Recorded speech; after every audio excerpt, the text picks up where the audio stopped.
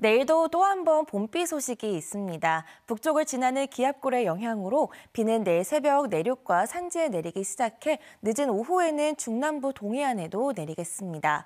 비의 양은 5mm 안팎으로 많지 않겠는데요. 여기에 황사의 영향까지 더해진다면 먼지가 섞인 황사 비가 내릴 가능성이 있습니다. 우산 잘 챙기시기 바랍니다. 비는 저녁까지 이어지는 곳이 있겠고요. 영동 지역은 바람도 강하게 불겠습니다. 순간 풍속 초속 15에서 20m의 강풍이 예상돼 시설물 관리 유의하셔야겠습니다. 내일 아침 기온은 춘천 7도, 원주 9도, 강릉은 10도 등으로 오늘보다 7도에서 10도가량 높겠고요. 한낮 기온은 영서 지역이 11도에서 13도, 영동 지역은 9도에서 16도로 오늘보다 조금 낮아지겠습니다.